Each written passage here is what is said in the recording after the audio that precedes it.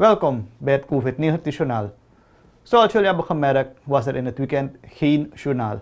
Dit komt op aangeven van de minister van Volksgezondheid Amar Ramadin dat er per heden een journaal wordt gepresenteerd op de maandag, de woensdag en de vrijdag. Velen hadden gehoopt dat de traditionele Oruyari-viering gespaard zou blijven van het COVID-19-virus. Maar het is nog lang niet over. Het ziet er uit dat het grote, massale, bombastische Oruyari-feest dit jaar geparkeerd zal worden. Dit verneemt het COVID-19-journaal uit de eerste hand van de organisatie. De situatie is nog heel erg onduidelijk. Uh, wat we wel alvast aan mensen willen meegeven is, men kan er niet van uitgaan dat we 31 december Oruyari gaan vieren zoals we dat gewend zijn. Zoals we de afgelopen decennia hebben gedaan. Dat zou helaas niet kunnen. Maar wij snappen vanuit Surivesta ook dat we de Suriname niet kunnen gaan zeggen van ja, je moet thuis blijven. Dus er gaat ergens een middenweg gevonden moeten worden, maar tegelijkertijd willen we het volk erop voorbereiden. De binnenstad, zoals men het kent, Oruyari vieren in de binnenstad met duizenden mensen in straten. Dat is natuurlijk, uh, het, het, is niet echt mogelijk in deze periode. En dat, dat is het eerste wat we alvast uh, van ons hart willen drukken.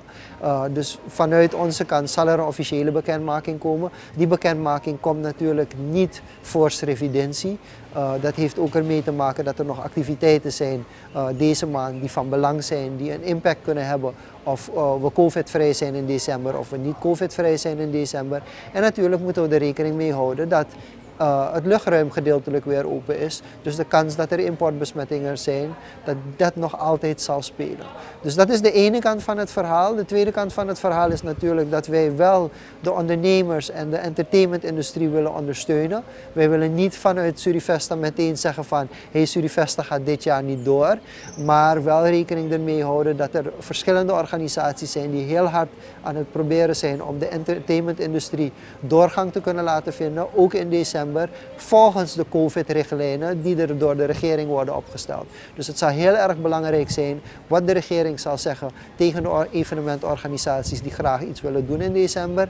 Wat de politie en de brandweer aangeven wat mogelijk is, maar natuurlijk ook wat het COVID-team en het ministerie van Volksgezondheid doorgeeft wat de mogelijkheden en de beperkingen zijn voor het vieren van een feest in december.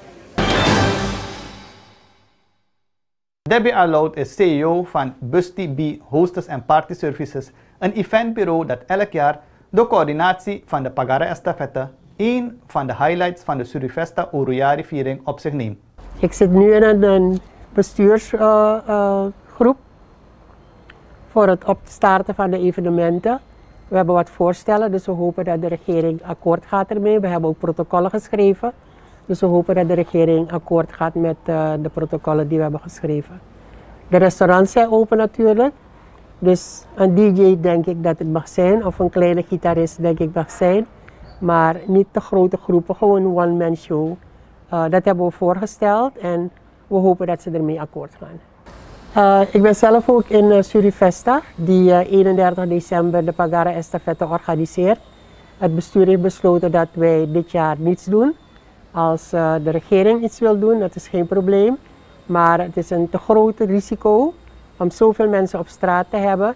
En uh, we dalen al aardig met de besmettingen.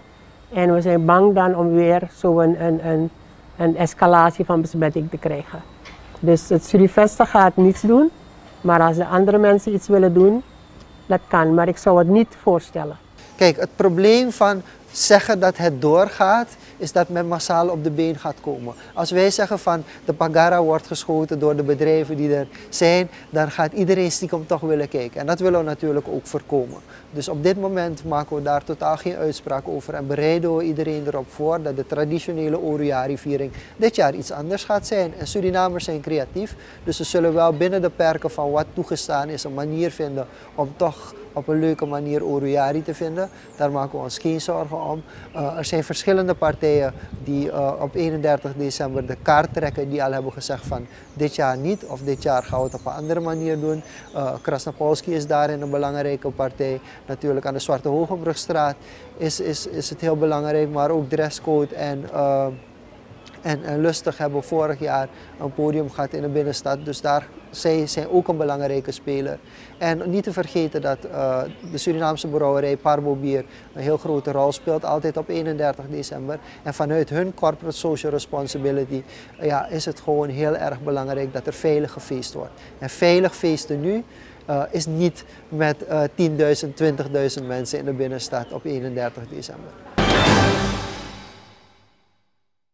Het begint duidelijker te worden. Er komt hoe dan ook een alternatieve viering van wat geldt als het grootste feest in Suriname. Kijk, mevrouw Arlout heeft het eigenlijk al gezegd. Je kan het op een creatieve manier oplossen. En waar we vooral naar moeten kijken is van hoe doe je dat in een beperkte kring. Uh, afgelopen week is het nieuws groot viraal gegaan dat Kim Kardashian de 40ste verjaardag op een privé-eiland heeft gevierd. En al haar gasten in quarantaine heeft gegooid voor twee weken.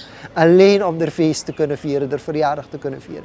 En dit is ook een boodschap naar Surinamers die familie hebben die uit het buitenland naar Suriname komen in december. Vraag ze beleefd om zich aan de quarantaineregels te houden. Er zijn al besmette gevallen binnengekomen via vliegtuigen die vanuit, vanuit Amsterdam naar Paramaribo zijn gevlogen. Dus als je familie hebt in december is dat de eerste stap. Om hun duidelijk te maken dat ze in quarantaine moeten blijven. Totdat het zeker is dat zij geen besmettingsgevaar hebben voor ons hier. Want in principe gaan wij al richting de no cases. De, de trend die wij nu aan het doorzetten zijn is heel erg goed. Maar op het moment dat er besmettingen van buiten komen wordt dat moeilijker. En dan moeten we ook rekening houden dat wij heel makkelijk denken dat op Sanderij de grens is. Maar we hebben ook natuurlijk andere grenzen nog. We hebben nog de grens met Guyana, de grens met Frans-Guyana. We hebben ook de grens met Brazilië. En op al die plekken, ja, Brazilië natuurlijk iets minder in het zuiden. Maar vooral in Guyana en Frans-Guyana zal ook de rol spelen dat familie uh, de rivier over wil steken om in Suriname hun Orujari te vieren. En daar moeten wij ook rekening mee houden dat wij eigenlijk onze familie die komt vanaf buiten zeggen van hé, hey, hou je alsjeblieft aan de quarantaineregels zodat wij gezamenlijk een leuk feest kunnen hebben. En of dat nu in de wijk is, met de familie is of met vrienden is, dat maakt in principe niet zoveel uit. Maar daardoor kunnen wij ook ervoor zorgen dat we niet in januari een gigantische piek weer hebben in het aantal uh, coronabesmettingen. Met de versoepeling van de maatregelen begint het uitgangsleven weer langzaam op gang te komen. Maar natuurlijk geldt ook bij het pakken van een terrasje of een casino of restaurant dat de uiterste voorzichtigheid geboden is. Feit blijft wel dat de horeca na een lange break weer aan de slag is gegaan. Hoe hebben de eventbureaus het in de tussentijd kunnen rekken? Wij doen uh, huwelijken, borrels, seminars, uitvaartdiensten cocktailparties, alles wat met gezelligheid en events te maken heeft. Uh, vanaf maart inderdaad. Het was voor mij persoonlijk even twee maanden shock. Uh, even kijken wat je gaat doen en uh, hoe je ermee gaat leven, wat je allemaal verder gaat doen. Het was goed voor mij om even het bedrijf weer helemaal te organiseren, te reorganiseren en kijken wat je verder online kan doen, want nu was alles heel veel online. Uh, ik heb geprobeerd om uh, te salesen, uh, hotels, maakt niet uit wat. En dat is aardig wel gelukt. En pas na een aantal maanden ben ik echt weer opgestart, omdat ik een uitvaartdienst moest doen. Er waren protocollen van BOG en die ben ik dan gaan doornemen en dan hebben we het uitgevoerd zoals zij dat hebben gedaan. We hadden wat kleine correcties. En daarmee zijn ze akkoord gegaan en we zijn verder gestart. COVID leert je bepaalde dingen accepteren. Het heeft zijn plusjes en zijn minnetjes. Ik uh, ben gaan schilderen, ik ben gaan planten. Um, ik heb leren omgaan met de computer zoals het eigenlijk moet. Internetbanking enzovoort. Je leert nu bepaalde dingen die je moet, uh, die je moet doen voor, qua internet en qua computer. Dus uh, het heeft zijn positieve kant en het heeft zijn negatieve kant. De druk op de zorg neemt af. Deze positieve ontwikkeling is te danken aan de dalende trend in het aantal COVID-19 besmettingen. De teller staat vooralsnog op 33 actieve gevallen. In het afgelopen etmaal zijn er slechts twee positief geteste personen genoteerd. Door de verlichting in de zorg aan COVID-19 patiënten kan er weer optimaal worden gewerkt aan de reguliere zorg. Alle ziekenhuizen hebben een beetje bijgestaan met het vrijmaken van personeel om de COVID-patiënten op te kunnen vangen. En u weet ook, we hebben die piek gehad een paar maanden terug. Dat was een hele zware periode. Uh, gelukkig hebben alle ziekenhuizen in die periode personeel vrijgemaakt. En nu met een dalende trend hebben we ook gemerkt dat de verschillende ziekenhuizen ook hebben gezegd van hey, er zijn minder COVID-patiënten, dus mag ik mijn personeel uh, terug om ook weer de reguliere zorg weer naar normaal te brengen. Want de reguliere zorg was ook afgeschaald om die COVID-zorg te kunnen bieden. En nu is er weer de roep van hey, de normale reguliere zorg moet weer opgeschaald worden omdat de COVID-zorg afgeschaald kan worden. Door de dalende trend in positieve gevallen kunnen we binnenkort overstappen op code oranje.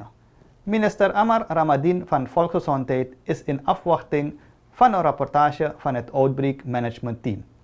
Het aanpassen van de alertheidsstatus zal ook effect hebben op de andere COVID-19 maatregelen. We zien goede cijfers en dat stemt ons goed. Het is ook hier duidelijk aangehaald dat dit een, een, een versnelling betekent voor onze uh, return to normal. Maar nogmaals, uh, we gaan heel binnenkort overstappen. Het heeft niet zomaar, het heeft ook consequenties als je naar code oranje gaat. Je gaat dan ook je reisbeleid, maar ook je transport, uh, je, je, je, je vluchten en je grenzen misschien moeten openstellen. Maar we zijn een beetje voorzichtig omdat we zien dat er in de, in de regio en vooral onze buurlanden nog steeds gevallen ook zijn. Dus we, zijn, we gaan met alle wijsheid en tact om met deze zaak. De activiteiten in het regionaal ziekenhuis Wanica met de patiënten en het personeel blijven voorlopig doorgaan. Blijft u zich houden aan de vastgestelde COVID-19-regels, zoals het dragen van een mond-neusbedekking, regelmatig de handen ontsmetten en het houden van 1,5 meter afstand. Voor een nieuwe aflevering van het COVID-19-journaal verwijs ik u naar woensdag aanstaande. Tot dan!